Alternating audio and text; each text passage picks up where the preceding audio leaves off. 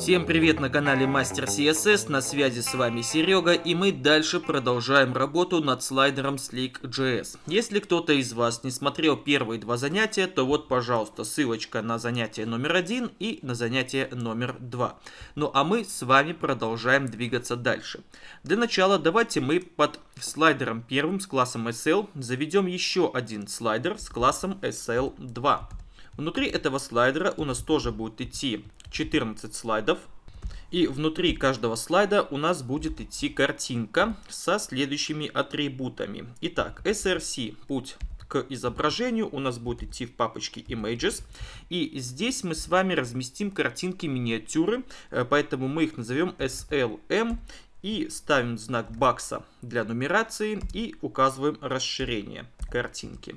Дальше закрываем кавычки и давайте на всякий случай пропишем атрибут alt, чтобы наш код был валиден. Ну, я тут напишу просто примитивно img, нажимаю Tab, и у нас уже, видите, готово так сказать, заначка для следующих 14 слайдов. Теперь давайте мы с вами перейдем в папочку с картинками и здесь сделаем миниатюры. Я буду пользоваться программой, которая называется Fast Stone Image View. И здесь я в этой программе выделяю все 14 изображений, щелкаю правой кнопкой, выбираю сервис, пакетное преобразование, либо кнопочка F3. Смотрите, обратите внимание, чтобы в правой части окна у вас стояли все 14 изображений в том порядке, в котором они идут у меня, потому что миниатюры должны соответствовать будут большим изображениям. И сейчас мы делаем миниатюры. Указываем, что у нас будет формат идти JPG, установки, качество я у себя поставил на 72, в принципе все то же самое вы можете выстроить у себя, как у меня. Выходная папка у нас будет та же самая, поэтому галочку я снимаю изменить настройки. Выставляем галочку, жмем дополнительно. И здесь выставляем изменить размер. В пикселях указываем 150 и указываем галочку сохранить пропорции, чтобы у нас не было высоты в 720 пикселей. Жмем ОК.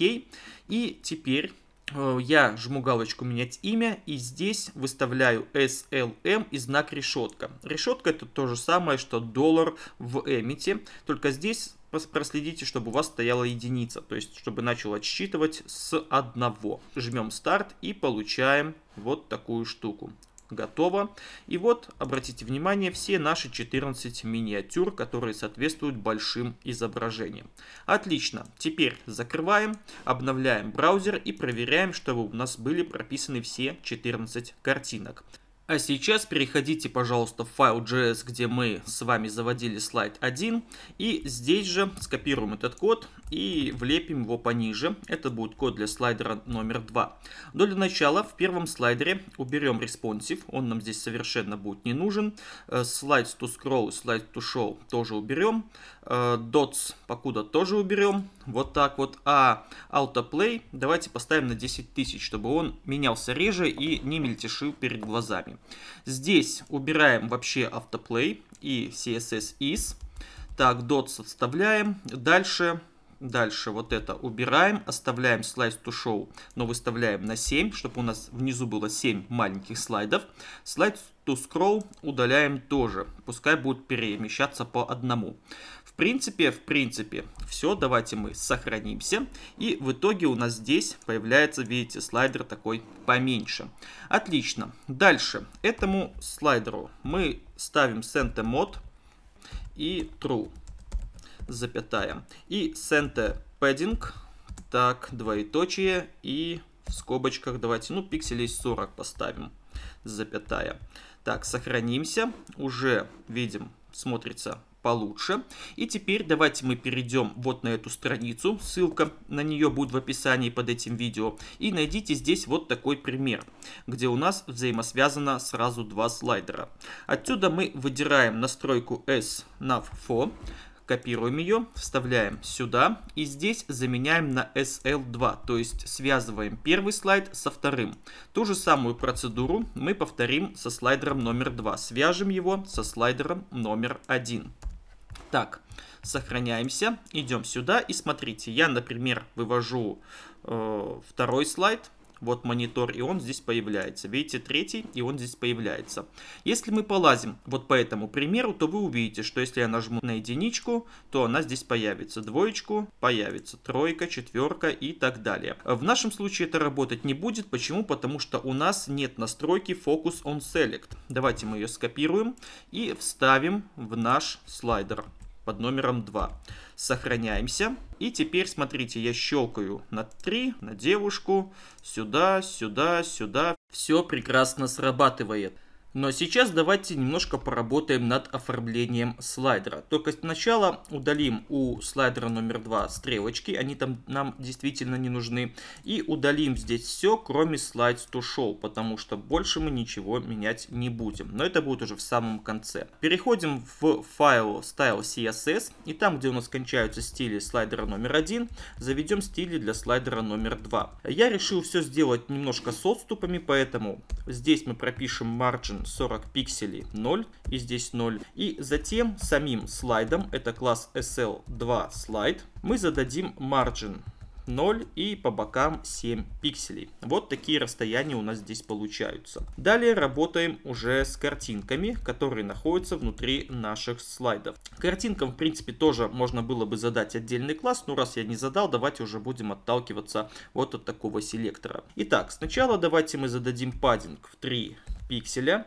Затем background зададим DDD, border radius тоже в 3 пикселя. И в итоге мы имеем вот такие штуки. Если мы сейчас понажимаем на картинки, то вы увидите, что все они обтекаются вот такой синей рамочкой. Эта рамочка задается именно самим слайдом при нажатии и отвечает за нее свойство outline. Поэтому мы напишем outline none. Сохранимся и теперь при щелчке, видите, ничего у нас не обрамляется. И последний момент это то, что в наших картинках при наведении курсор не становится ручкой, а надо как бы людям показать, что нажать можно. Поэтому мы добавим курсор pointer. Точка с запятой и теперь, видите, у нас здесь такая вот ручка. А сейчас давайте сделаем так, чтобы при наведении на картинку у нее бэкграунд менялся с серенького на белый. Для этого мы добавим свойство Transition для плавности эффекта, скопируем свойство background и вставим его вместо первого значения, а вторым значением укажем .3s, то есть до 0,3 секунды. Далее копируем вот эту штуковину, вставляем двоеточие have и означает, что при наведении наш background будет меняться на белый цвет. Отлично, теперь проверяем. Видите, при наведении картинки становятся с белым бэкграундом. Теперь давайте посмотрим код элемента. И я хочу узнать класс текущего слайда, чтобы наш текущий слайд был всегда с белым бэкграундом. Для этого смотрим, э, что наш текущий слайд имеет класс Slick Current, то есть остальные его не имеют, поэтому от этого класса и будем отталкиваться. Ставим здесь запятую, точка, вставляем этот класс и mg. Все, больше ничего. Сохраняемся, обновляем страницу и смотрите, наш слайд, который идет текущим, он так и остается с белой рамкой. И сейчас мы приступаем к оформлению наших точек. Только для начала давайте мы в файле JS уберем автоплей, для того, чтобы он нам не мешал выдирать стили. Переходим в файл стилей, обновим здесь страницу. Так, и я включу второй слайд. Начнем с первого. Так, просмотреть код. И видим, что все наши точки находятся в теге ul с классом slickdots. То есть каждая точка находится в отдельном теге li в кнопочке button. И причем не в ней, а в псевдоэлементе before. Видите, вот она тут контентом показывается. А, поэтому сейчас что мы делаем? Во-первых, оформление для кнопки button вылазит вот через эти стили. Я их копирую и вставляю сюда. Дальше у нас идет э, before элемент. Вот он. Копируем и вставляем ниже. Вот. Отлично. Дальше у нас идет активный элемент. Давайте мы его просмотрим. И видим, что здесь, в принципе, элемент before, он у нас таким черным отображается, действует через класс Slick Active, который добавляется пункту li. Поэтому мы все это дело копируем и вставляем ниже. То есть все эти классы нам понадобятся. И возможно нам еще понадобится класс, э, вот здесь скопируем его, добавляем. Так, точку я тут прописал немножко не так. И здесь добавим еще класс ClickActive.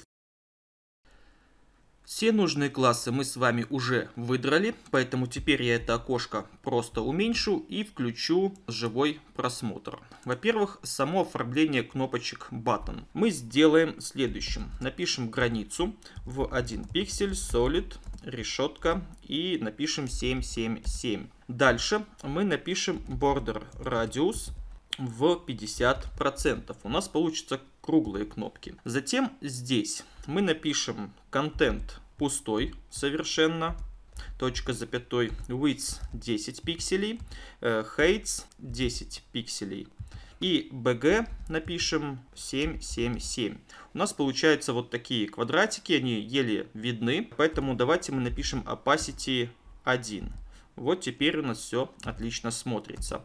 Border radius опять 50%, топ двоеточие 50%, точка запятой, и left тоже 50%. Ну и затем при помощи марджина мы поднимем эти кружки ровно на середину, то есть отнимаем половину от ширины и высоты и пишем вверх минус 5 пикселей и 0 и 0 и влево тоже минус 5 пикселей. Таким образом у нас получилась вот такая штука, правда она еще не рабочая. Для того, чтобы она заработала, давайте мы для начала скопируем транзишены, чтобы были плавные плавные эффекты переходов. И здесь у нас будет идти свойство border, мы будем менять, поэтому вместо бэкграунда здесь мы напишем border color. Все. Э, теперь тут мы сделаем дубликат, Ctrl-D, запятая, и сделаем не active, а именно при наведении, двоеточие have. И здесь проделаем то же самое. Ctrl-D, запятая, не active, а при наведении. Двоеточие have. И теперь все, что нам осталось, это для before добавить background FFF, то есть беленький, а для этого добавить border color, тоже решетка FFF, точка запятой. Все, и теперь у нас, смотрите, когда мы щелкаем, наши слайды остаются, точнее кнопочки, остаются беленькими по-моему, смотрится красиво. Можно даже э, нашу границу сделать не в один пиксель, а в два. Будет потолще смотреться. Ну и еще можем добавить Box Shadow. Давайте попробуем. Так, Box Shadow. 1 пиксель, 1 пиксель, 3 пикселя, RGBA. И сделаем 0,0,0,0,2. Все. И у нас должна появиться легенькая тень. Давайте 5. Так, что-то... А, точку с запятой поставим. И тень у нас появилась, но уже не легенькая. 0,2. Так, и, по-моему, все смотрится замечательно. Так, здесь добавим только еще минус 1 пиксель. Вот так вот. И теперь у наших кружочков появилась еще дополнительно и тень. И сейчас давайте мы с вами попробуем сделать еще вот эти точки для большого слайдера и разместить их не как обычно они внизу находятся, а в самом верху. Итак, переходим в файл index.html, ой, js. И здесь мы добавляем .stru. Сохранимся. И они у нас здесь появились. Э, теперь давайте мы слайдер sl, который идет, .sl, затем .slick dots. Так, мы сделаем топ 0. Посмотрим, применится или нет. Видите, вот они в самом верху стали. И давайте сразу же тут добавим не топ 0, а, например, 10 пикселей. Ну, то есть чуть пониже сделаем. И вот, пожалуйста, наши точки, они смотрятся уже таким образом. Так, теперь давайте перейдем к стрелочкам и посмотрим, что мы можем сделать с ними. Просмотреть код и видим. За наши стрелочки отвечает тоже кнопочка button. И у этой кнопки стоит Slick Pref, видим. И у кнопки номер 2 Slick Next. Так, для начала скопируем класс, который отвечает за обе кнопки. Ставим его пониже. И затем каждую кнопочку мы развернем отдельно. Так. И вот так. Все. Э, теперь смотрим. Для того, чтобы вот эту кнопку сместить получается в, э, внутрь нашего слайдера. Здесь у нас left минус 25. Если мы поставим left 0, э, то она у нас вообще пропадет. Скорее всего, это из-за z индекса, потому что эта кнопка в коде идет выше, чем сам слайдер. По умолчанию у слайдера идет 1000. Давайте мы поставим 1001. Так, и вот наша кнопочка уже видна. Давайте сначала мы это скопируем и вставим сразу для двух кнопок. Так, вот сюда. А здесь left получается 0. Так, и right тоже 0. Хотя давайте заменим на 25 пикселей. Все, сохранимся и посмотрим. И вот, пожалуйста, наши кнопочки находятся внутри слайдера. Но смотрятся они как-то уж очень, очень не очень маленькие, э, поэтому давайте мы заменим. Так, опять-таки смотрим на кнопки. Это Before получается у нас. И у него стоит font size 20 пикселей. Давайте мы поставим, например, 32. И у нас там большие кнопки, поэтому я вот это дело скопирую и вставлю пониже. Вот так вот. И здесь вот так вот. И у нас получаются уже такие кнопки. Но если вы посмотрите внимательно, то вот эта кнопка, она у нас не совсем идет э, рядышком. Почему? Э, скорее всего, потому что у батонов стоит э, размер, так вот, width 20 на 20 пикселей, а у Before уже стал, видите, 32 на 32. И вот эти размеры не соответствуют, получается криво. Поэтому нашим батоном мы пропишем width 32 и height 32. Смотрим. И теперь наши кнопки стали на место, но вот эта кнопочка на белом фоне, видимо, они немножко теряются. Поэтому давайте добавим тень. Напишем текст shadow так, 1 пиксель, 1 пиксель, 1 пиксель. RGBA 0,0,0, точка 2. Так, даже, наверное, давайте 4 поставим, чтобы было еще более заметно. И вот теперь наши кнопочки, они уже видны на белом фоне. И, по-моему, смотрится все просто замечательно. Но сейчас давайте мы немножко проконтролируем, как будет вести себя наш слайдер при меньших размерах экрана. То есть, в принципе, здесь мне до 1100 пикселей нравится все, ну, а потом можно сделать, э, наверное, и поменьше немножко э, картинок, поэтому давайте мы перейдем э, сюда, здесь напишем 1100 и поставим шестерочку. Так, сохранимся, обновимся, и теперь у нас раз, два, три, четыре, пять, шесть, семь. Это еще не 1100. Вот. И теперь 6 картинок. Дальше давайте мы уберем до 980. Даже не 80, а 60. Э, влепим 5 уже картинок. Так, сохранимся. И двигаемся дальше. При 800 пикселях сделаем с вами 4 картинки. Сохранимся, обновимся, смотрим. Так, вот, отлично. Так, в принципе, 640 давайте на тройку скинем. Так, опять обновляюсь. Дальше, дальше, дальше, дальше. У нас получается уже вот 460. Давайте 480 пикселей. Уберем эти дотсы.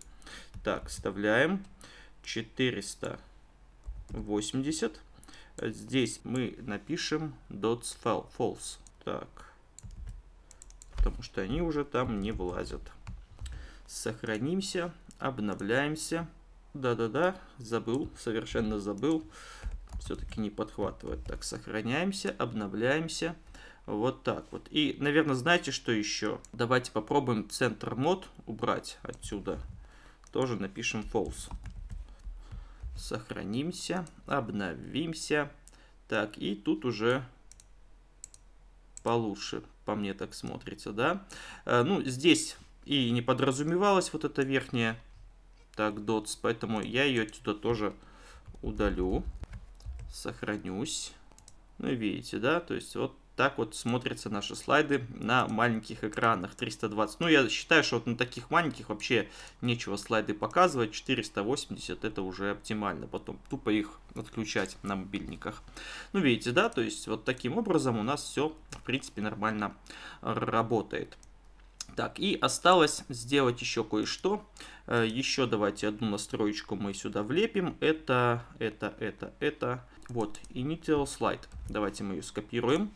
Э, вставим сюда и двоеточие напишем, ну, какой-нибудь, давайте, 11. Не забывайте, что слайды, они считаются с нуля в скриптах, а не с единицы. Поэтому по факту у нас здесь будет 12 слайд торчать. А дальше, autoplay, так, двоеточие, true, так, запятая, и autoplay speed 2000. Так, сохранимся, обновимся, и у нас не срабатывает автоплей. А, видите, я вам говорю про регистр букв, обязательно соблюдаем. Там маленький указан, значит маленький мы здесь и пишем. Все, и теперь должно работать. Так, а с какого началось слайда? С 11. Видите, он тут самым первым торчит у нас. Так, так, так. Надо здесь тоже тогда добавить, потому что что-то непонятное творится. Так, обновимся. И вот теперь все нормально, видите. Вот так вот. Ну что ж, друзья, в принципе на этом все. Спасибо за внимание, подписывайтесь на мой канал, ставьте лайки, на связи с вами был Сергей.